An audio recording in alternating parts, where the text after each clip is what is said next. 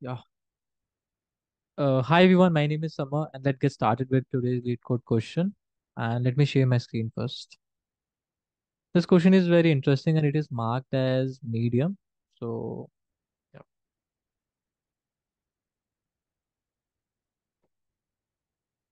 Yeah. So question is uh, 931 minimum falling path sum. Okay. So basically we have given a 2D uh, vector. Okay. And we have to find the sum of the elements from the each row till it reaches the last row and we have to find the minimum sum okay? And there are three conditions are given. Uh, condition as that are that like from the from the any row like from uh, any row like for example if you are uh, you, if you are this element so either you can take this element or this element or this element. Suppose you are at 2 either you can take this one or this one. You can't take this one. So you can take either row plus row plus 1 comma uh, column or row plus 1 comma column minus 1 or row plus 1 comma column uh, plus 1 okay. So these are the three condition given. And uh, at the end we have to find the minimum sum. Okay. So uh like there are two approaches. Like here what we are doing is we are uh, checking uh, each uh, path one by one from the given uh, from the given element okay? And we are uh, selecting some element or we are not taking some element. So those kind of problem which uh, uh, which uh, which which consist of like option based like either you can take this one or you can't take this one this kind of problem we can follow the dp approach and inside the dp there are two uh, method to do to solve the question. First is bottom up and top down. So here the here the top down approach is consist of uh, recursion and memorization. So after solving the recursion and memorization uh, i solved it but i got a tle time limit exceed. So here in this video, I'm going to solve it using the bottom up approach. So in the bottom up, like we are not uh, using a recursion method. We will take one 2D DP vector and we will follow some uh, condition and we will try to came to the conclusion. So yeah, let's get started with the approach. Like mm, how can we get the minimum path sum? Okay. Suppose we are given uh given input 2D vector here. It is given uh, two, one, three, six, five, four, seven, eight, nine. What I will do is I will create one uh 2D vector, okay, with the same size. Just wait.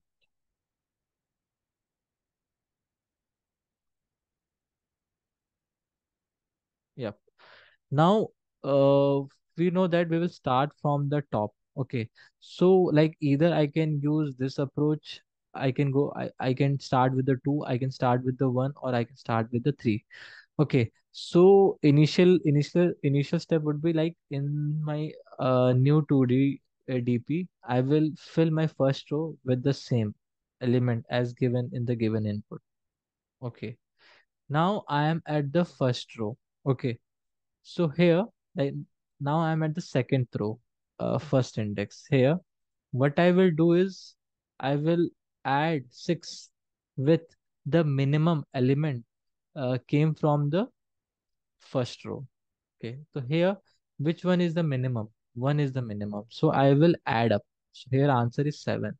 And I have to also keep this condition. I can take that row only or that column only which satisfy this condition. So here I can take the column, I can take the row, which is this one row, and uh, and the column would be either this one or this one. I can't take this one. Okay.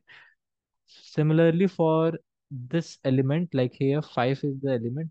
So I will add up with the minimum, which is the minimum from the top. 1 is the minimum. So I will uh, update it as 6. Okay. For this element, 4 is the element. So I will add up 1. So here my updated value would be 5. So for the first row, uh, second row, my answer is 765. Okay, because I'm optimally uh, finding the minimum element from the top for each row, for the each element for that particular row. Now I am at last row And last row, first element is 7. So which element should I add up with 7 so that I can get the minimum path? So here 765 is the updated value. So I can take 6. Okay. So our answer is 13. Now the question is, you will uh, think, yeah, 5 is also minimum. Like it is a minimum from the all the three elements. Why you can't take 5? Because 5 is not satisfy our condition. Our condition is that either you can take this row or this row for this element. Okay. Uh, that's why my answer is 13. For this element, our uh, uh, I have 8. Now I will updated my 8 by adding it with the minimum, which is the minimum 765 from 765, 5 is the minimum. So our answer is 13 because it is satisfying the condition. For 9, which is minimum, 5 is minimum. So our answer is 14. So from the bottom row, which is the minimum element, 13 is the minimum element. So we have to return 13. So this is the approach uh, for this question. And the space complexity is order of m cross n. m is the row, n is the column. And time complexity is also m plus n because we are traversing each row one by one and satisfy the condition. Okay, so this is a complete approach. So let me start with the coding part. Yep. So I will first find the number of rows and column and is equal to a dot size.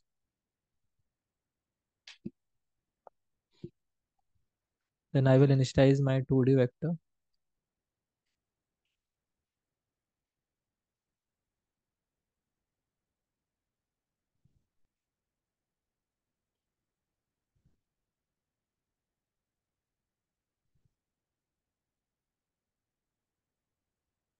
Yeah. Now I will initialize my first row of the 2D vector with the initial value of the given input.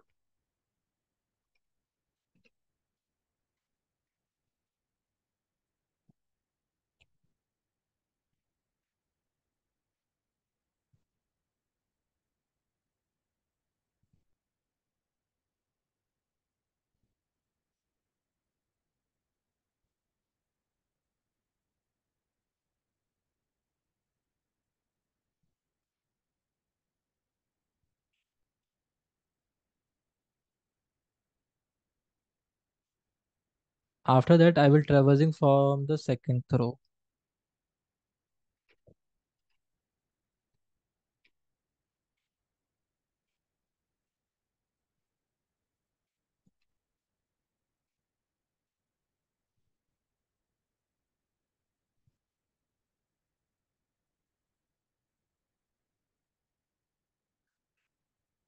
Yeah. So I will update my uh, second row like this if dp of row column equals to I will first add my initial value which is a of row column plus I will find the minimum element from the above row okay? So for that there are three elements so I have to find the minimum. So this is the syntax here uh, dp of row minus one which is the above row and column. This is the first element dp of row minus 1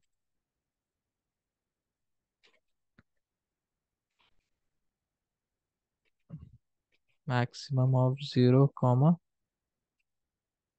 column minus 1 this is the second element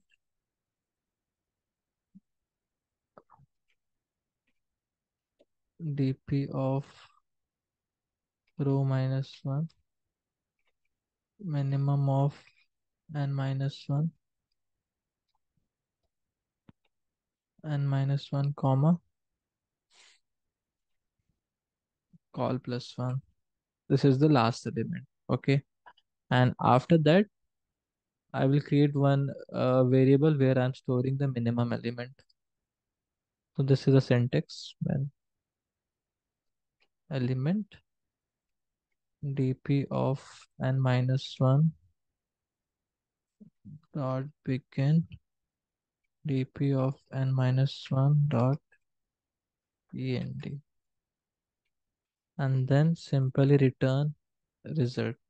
Here if you can see why i'm doing max or min so that uh, my column should not go out of bound. Here call minus 1 okay? Sometime it could be like uh, for example if i am at the first row and i am checking for the call minus 1 previous but there is no previous column so what i will do is i just simply uh, take the maximum which is uh, either negative or zero so i am initializing my row column as zeroth column. Similarly for here minimum. For example, if my column is out of bound, but I want the minimum from the given element only. So I am taking n minus 1 if I am out of bound. Okay. So my code got accepted. Let me submit it.